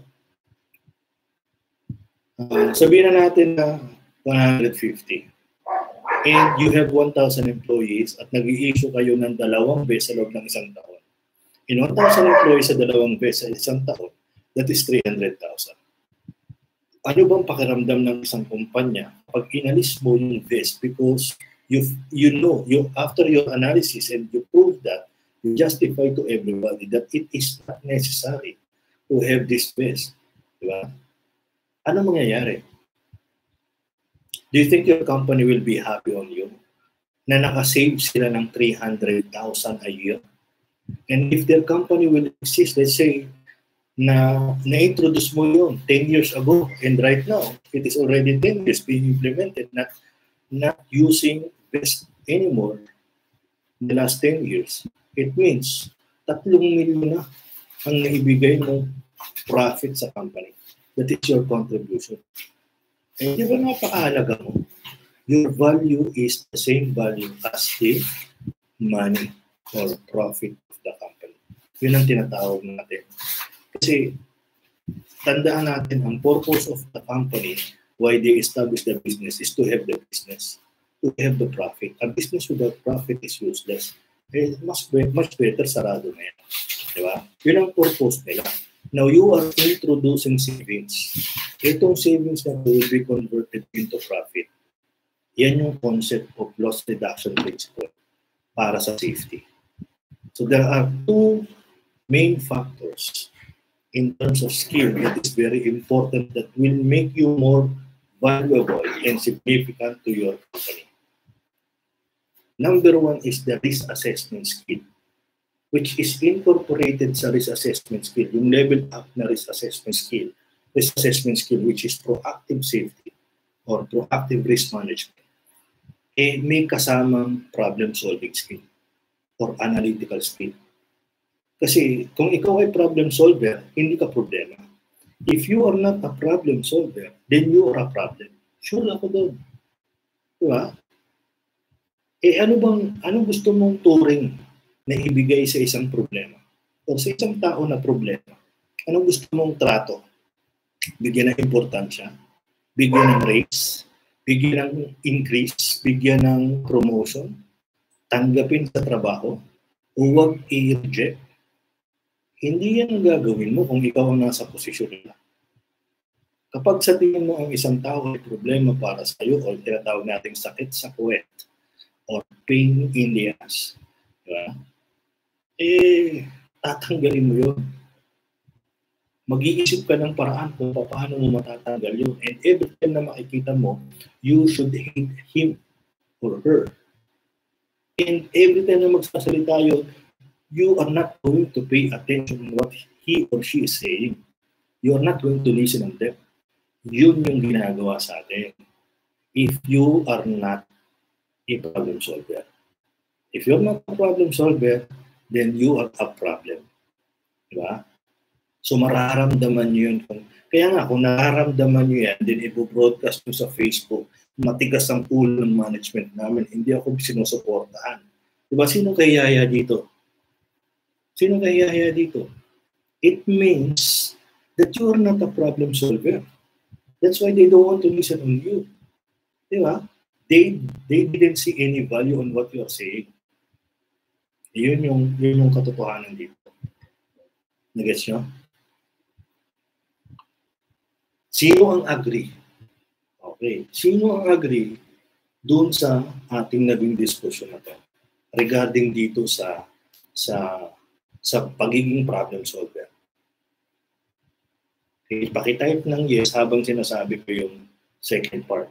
Yung first part is, tanda natin ha, yung first part again, ulitin ko, you need to have a proactive risk management skill incorporated with problem solving and analytical skill. Yan ang una. And kung paano mo i-acquire yan, you need to study. May maraming paraan para mag-aral. And I did I did the hard part. Okay? I, I did the hard way. Nag, nag-research ako. Diba? Nag-self-study ako. And during those times, hindi madali. Dahil walang internet ng mga panahon ngayon. Pero ngayon, on your era, on your time, everything is available in the internet. At meron na kayong group na mapapagtanungan, meron na kayong mga community na pwede nyo, ano, and marami ng mga city officer na Pinoy. But during that time, very seldom, kukunti. Kung meron man, pare-parehas na walang alam. Di ba? Ayun yung problema. Pero ngayon, andyan na lahat. Pwede ka nang makakuha ng mentor na Pilipino. Unlike before, ang mentor ko, ibang lahi. Diba? And it, it's very expensive, of course. And it's very hard to approach. Kung libre naman, it's very hard to approach. Of course, these people are very busy. And uh, andyan yung internet. Andyan si Mr. Right na tinatawag as per Kim Chu. Yung, yung Mr. Google, di ba? Si Mr. Google. I-google mo lang. Lalabas dyan bahala ka nang pumili kung alin doon ang pinaka-best. Of course, you need to validate information. Hindi lahat ng information sa internet ay totoo. That's the thing. Ang iba dyan, pare-parehas lang. Kahit pa yan international ang source or local yung source, there are times na pare-parehas lang na mali. So, it's very hard to find out. Yun lang mahirap. Maghanap ng tama. Okay? Now, dun tayo sa second.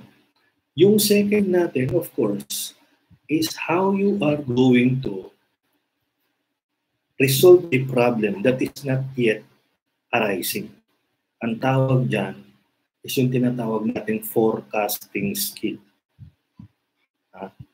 Makakagawa ka lamang ng safety program if your skill in forecasting is very, very high or effective forecasting skill. Paano forecasting skill? Imagine mo hindi pa lumalabas yung problema. Nahuhulaan mo na. Yun yun. Okay? So yung dalawang yun, you need to find out kung paano mo ito na i-develop. And good thing about that, of course, not the second wave. Kaya nga, uh, yun nga. Sige, bago ko sabihin about the second wave, because that will be our last part. Yung sa second skill regarding the the uh, doon sa ating uh, tinatawag nating forecasting skill.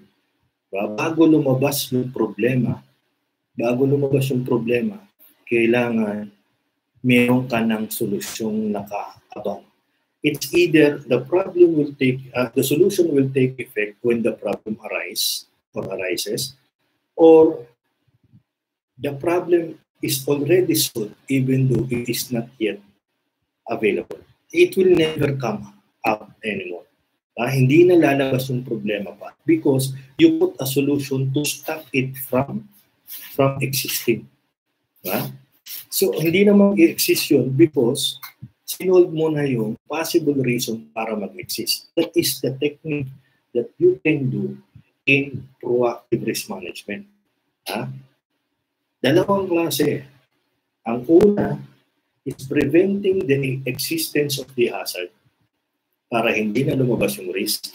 At yung pangalawa is making the solution or the control available when the hazard exists. Yan yung pinakadalawang bottom line natin dito. When you are going to use your forecasting skill sa safety programming. ito yung konteksto ng safety program, mga, mga kaibigan, mga ka-safety. Hindi, ang, ang safety program is masyadong matalinhaga yan. Hindi yan nakaka-copy-paste. Di ba? Kagaya ng itinuturo sa atin sa Boss and Coach na everything about safety, you can do copy-paste method. Diba, sabi nga ni Larry Gadon, may mga, kung may mga lawyers na copy-paste, eh natural, sa safety officer, 92% ang copy-paste. Diba? Eh hindi ka talaga masusweldohan ng malaki.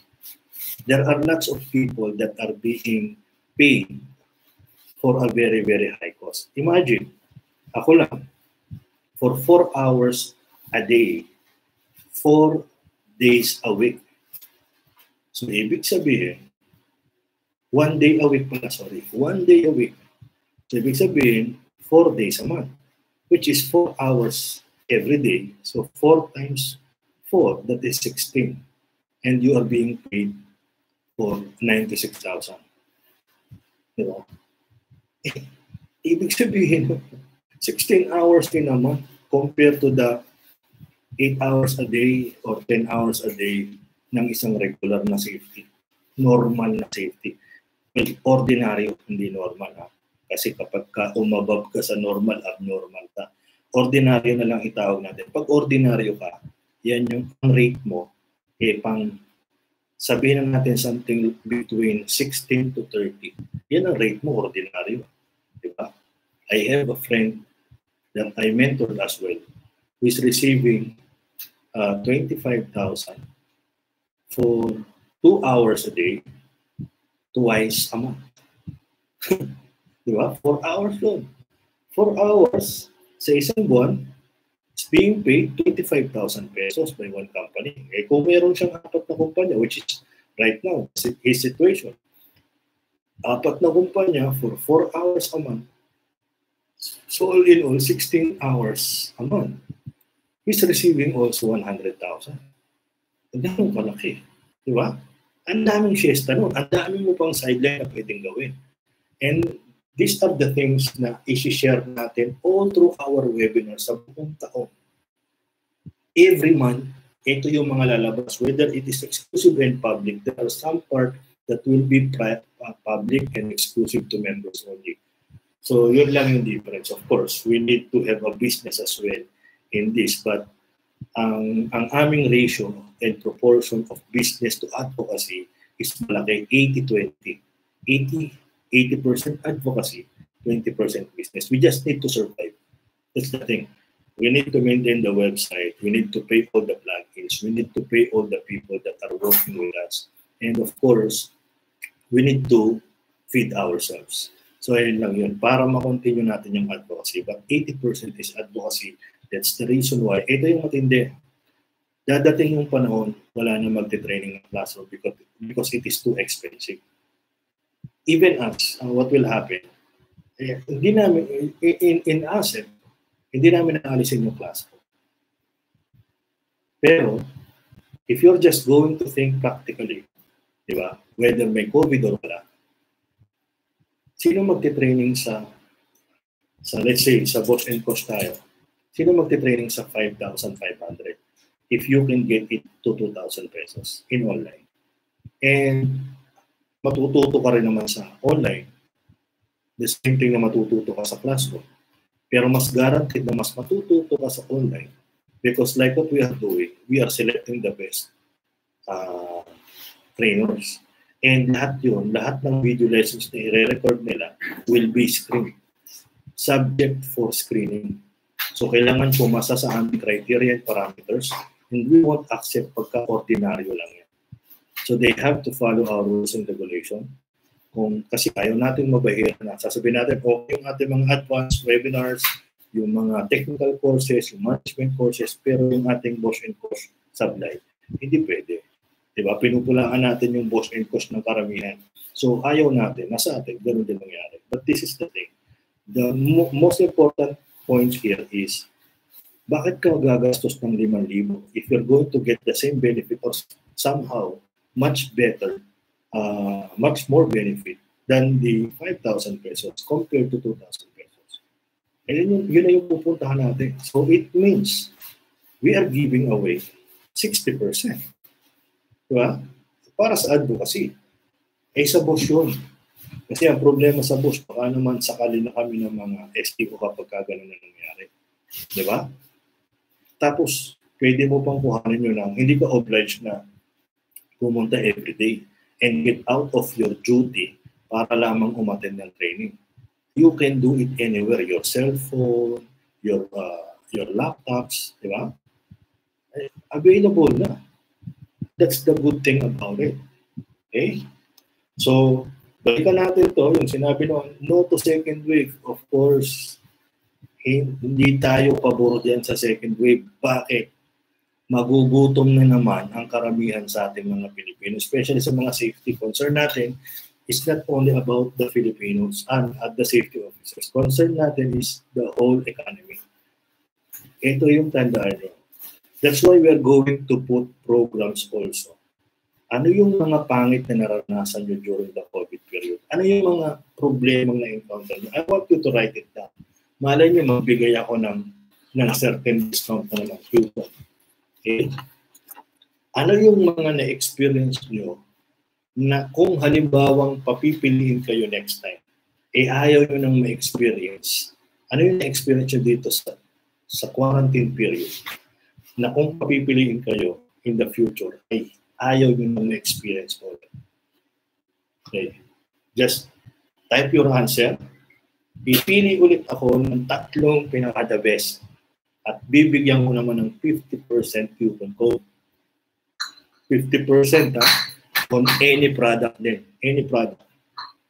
Sige, tingnan natin. O sige, ganito na. 60% kasi advocacy. Di ba? 60% coupon code sa tatlong best answer. Okay, saglit lang.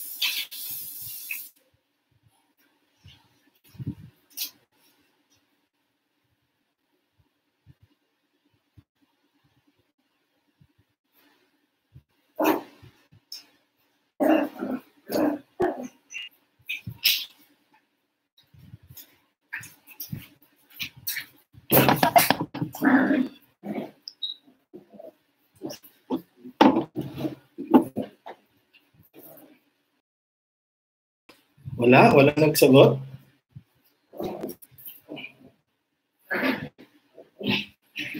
Okay. So,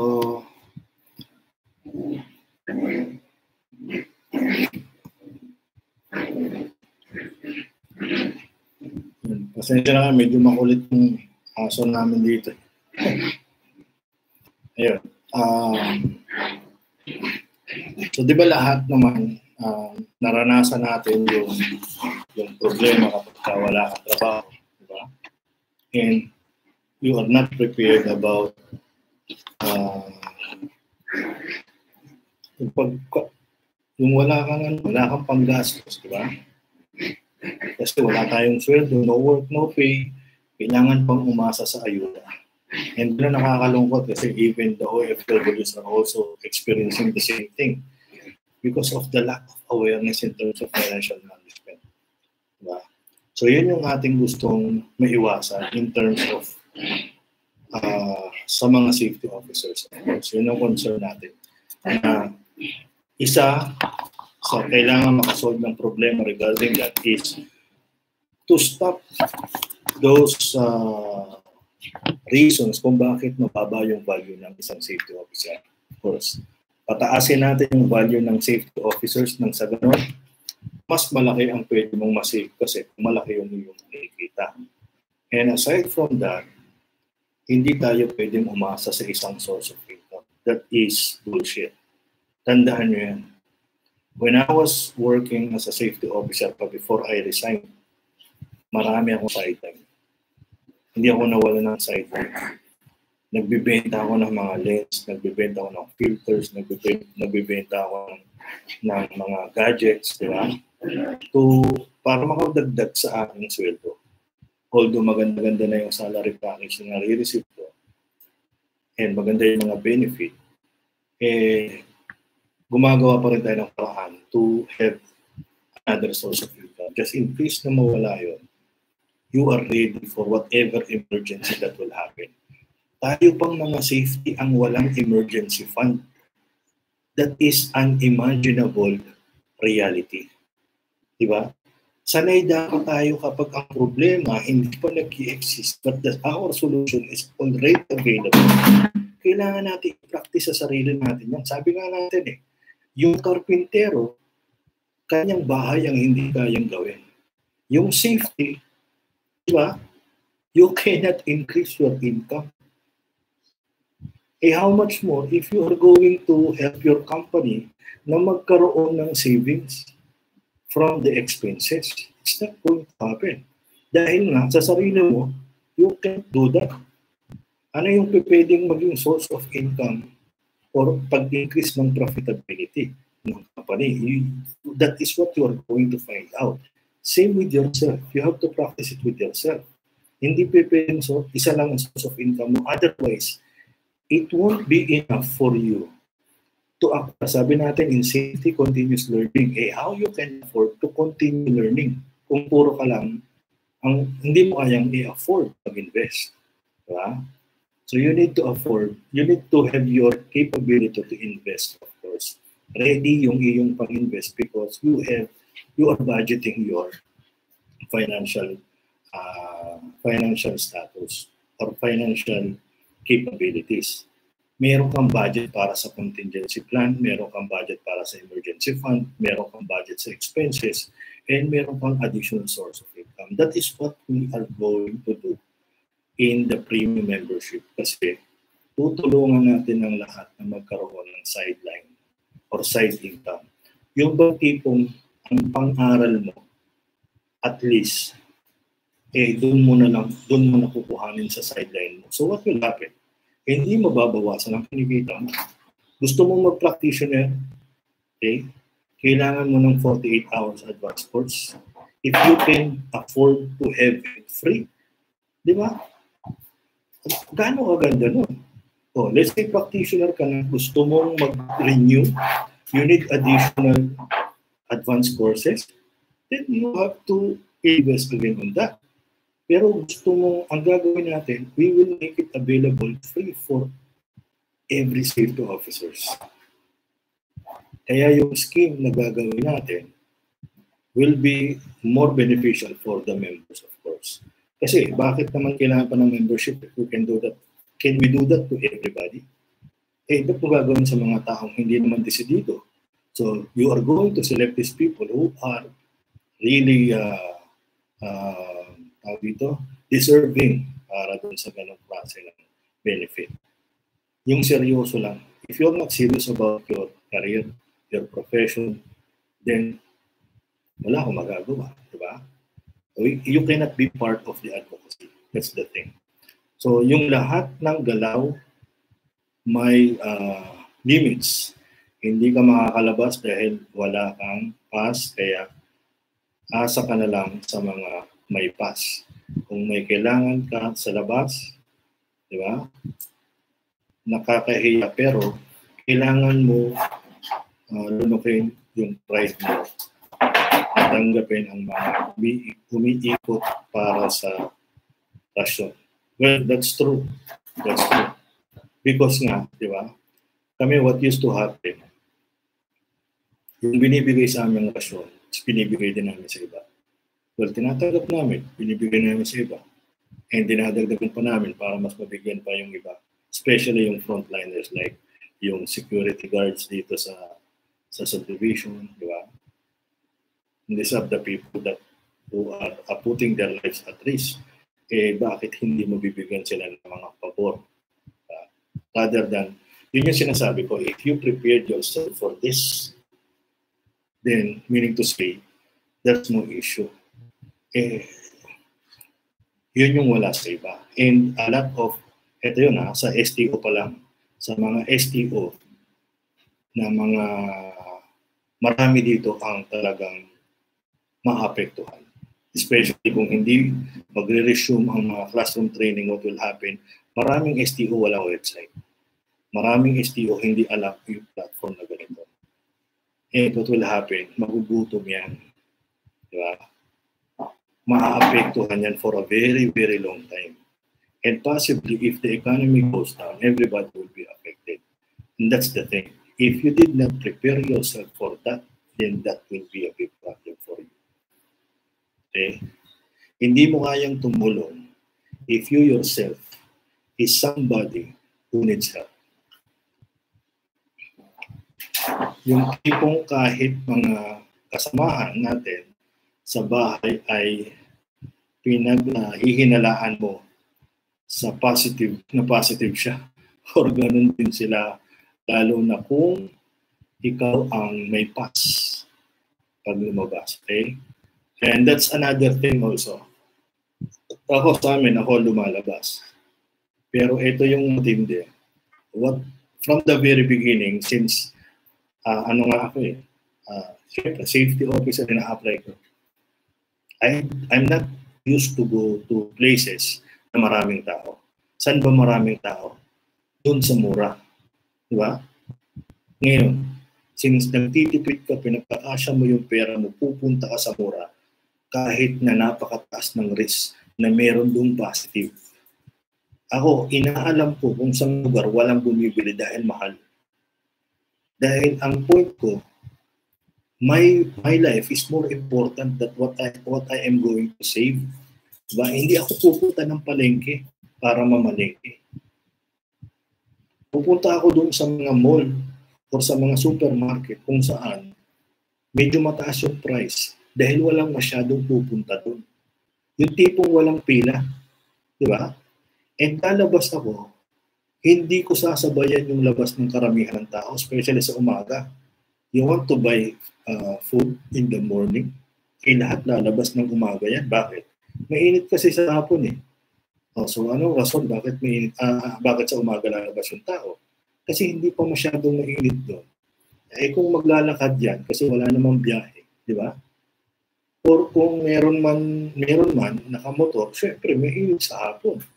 So mag sa umaga ka mamamalike, eh risky yun. And that is that is the thing that we are not doing during this time. I'm not doing that uh, during this this quarantine period. Lalabas ko ng alas dos ng hapon nung time na hindi pa kami pinabawalan ng hanggang 12. So, ginagawa ko, lalabas ako ng 11 to 11.30. Papapasukin ka naman kasi. Basta hindi ka na lang pwedeng lumabas ng 12 o'clock. So, labas ka ng 11.30, wala nang masyado na mamalengke, and doon ako bibili ng aking mga kailangan bilhin. So, di ba, mas, mas ano yun, mas safe yun. And pipili ako ng lugar kung saan medyo mahal. Diba? Eh sa supermarket, pag bumili ka sa Monterey, what will happen? Eh 260 ang pork chop. Eh samantalang sa palengke, magkano bili mo bili ng magkano kilo ng pork chop? 180. So maraming bibili sa 180. Yes, makakatipid ka sa 80 pesos. But the thing is, you are putting your life at risk. Eh, safety officer ka pa naman. Kasi, kasi mura eh. Kasi sobrang mahal dun eh. Eh, so, di ba? O bibili ka ng soft drinks, ba't ka bibili doon sa mga maliliit na murang tindahan kung saan maraming taong bumibili? Eh sa 7-Eleven ka bumili, kung konting tao. Di ba? O doon sa iba pa. Kung, kung, kung sa 7-Eleven maraming tao, maghanap ka ng 7-Eleven o convenience store na kunti yung tao. Yun yung point natin dito. But if you are not prepared, you can do that kung hindi ka prepared. That's the point. Okay? So, anyway, that's all about for tonight. So, abangan nyo dahil i-inform naman namin uh, again, lahat. You can inform your friends to join us in the future. Okay?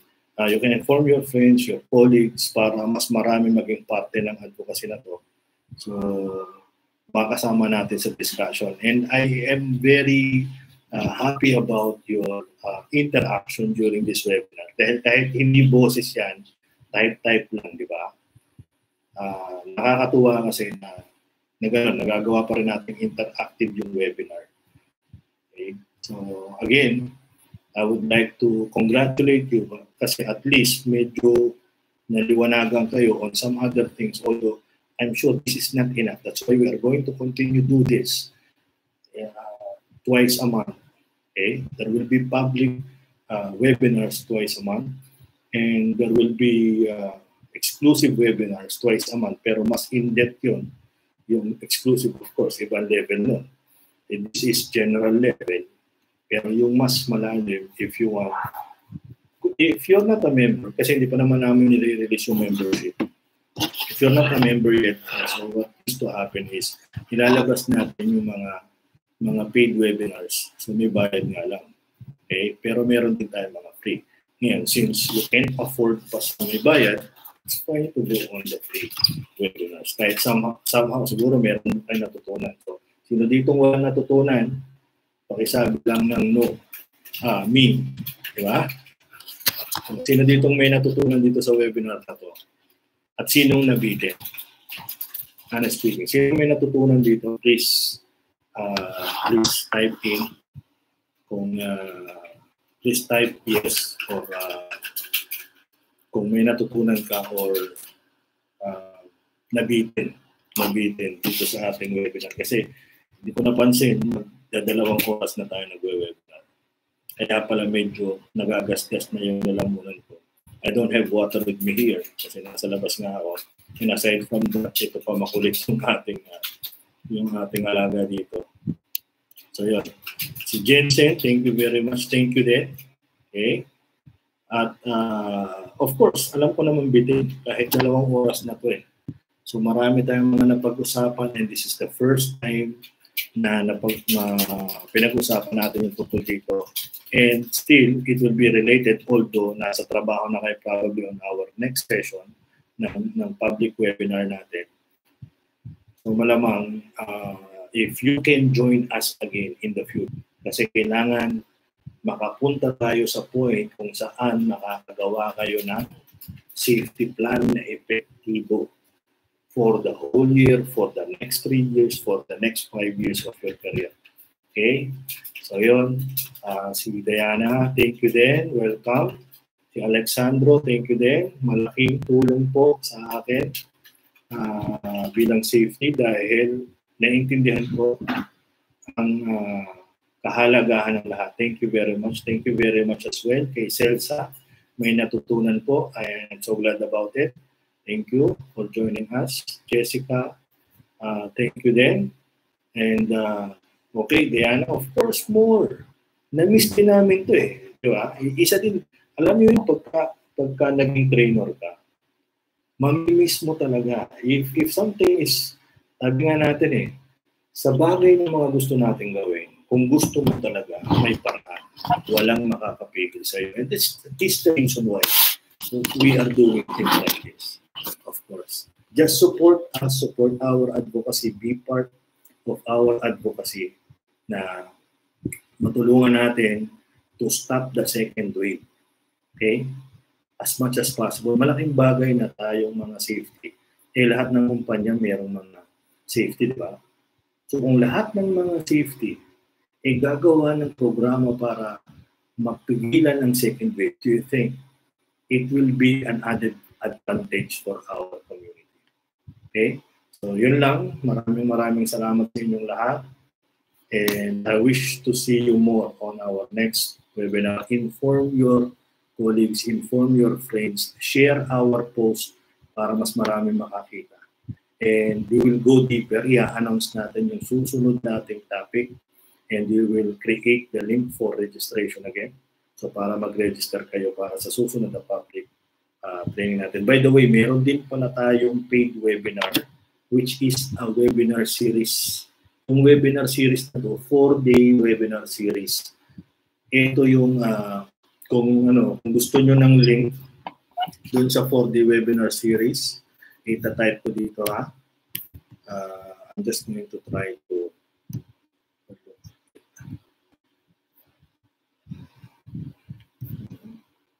I'm sorry, hindi ako ready. Pero yung, yung kasing 4-day webinar series, sunod-sunod siya.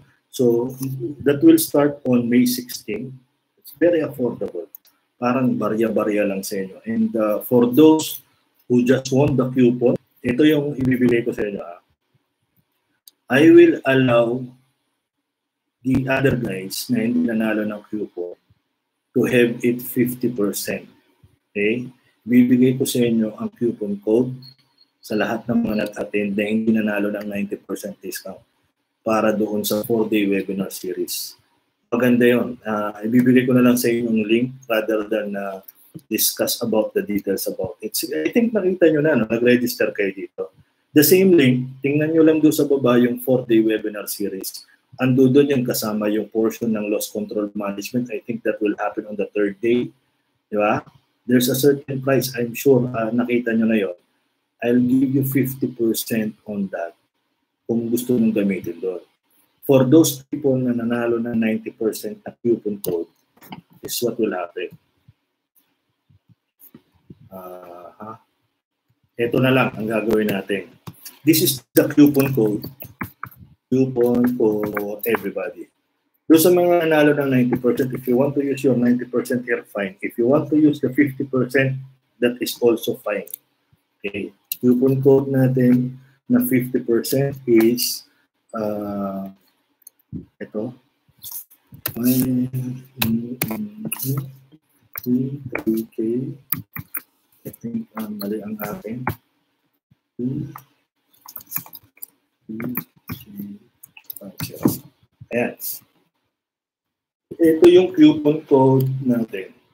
Yes, yung 4-day webinar series, since that is paid, lahat po ng, ng ating paid webinar and online course na paid, eh meron pong certificate. Yung ating free online course, free na ngayon, may certificate pa rin. So ito, yung 4-day webinar series may certificate. You can use this coupon code for 50% off. Okay? Now, doon sa mga, sa tatlong nanalo, kina, kina, uh, kina Diana and the rest, okay? 90%, may 90% coupon code kayo, ibibigay ko sa inyo yung coupon code because makikita nila dito. So I'll send it on the email. So what will happen is, pwede nyo gamitin yung 50% dito, but yung 50% lang. Or pwede nyo yung gamitin dito, but baka kasi uh, gusto nyo gamitin yung sa mas more expensive na product or or training, uh, di mas malaki yung masisave nyo rather than using it here. Kasi I think mura lang to. It's very, very, very cheap. The 4D webinar series, uh, what will happen to that is uh, you will be able to, ang, ang end result nito, you're going to submit a safety program. Program na, hindi plan to ah, program na. You're going to submit a safety program regarding COVID-19, uh, this new normal, uh, new normal uh, situation natin. Yun ang kagandahan doon. Pag natapos yung 4-day webinar series, that is what you will be able to produce. Ay, doon sa mga walang trabaho, saan nyo gagamitin? Pag nag-apply kayo ng trabaho, pwede nyo ibida yan. Sigurado ako. Ma-interview ka lang. Ipakita mo lamang yung inyong programa. Pero structure lang, huwag mong ibubungad lahat kasi baka mamaya hindi ka i-hire tapos kopyahin lang. Okay? May certificate po ba yung 4-day webinar? Yes po, may certificate ang 4-day webinar. May certificate ang 4-day webinar. Yes. Yes. Okay, so yun. May certificate yon at ang certificate nun yun ay completion certificate. Basta makasubmit ka ng iyong safety program, may completion certificate ka. Okay? So yun. Uh, yung link, yung link, uh, I think, tingnan nyo na lang dun sa, uh, dito sa link na to, http. I-browse nyo lang sa pababa. I-scroll nyo lang. Nandun yung 4-day webinar series. Click yung join now. Apply nyo yung coupon code automatically. Boom! 50%. Diba? Ring.suspect mb slash slash uh, free webinar. Free slash webinar. Free free ha? Free ang inyong puntahan. Yan. Yan yung link. I-click nyo lang yan. Scroll nyo sa baba. Join kayo doon. Pagdating nyo doon sa sa ano sa purchase page okay meron doon coupon code, ilagay nyo lang yung coupon code automatically, it will be discounted doon sa price nyo. Doon para sa ano naman, marireceive nyo by tomorrow morning doon sa tatlong nanalo ng 90% na coupon code, you can use that in this uh, four-day webinar series. Again, may certificate of completion sa makakatapos at mag-attend ng webinar. Okay?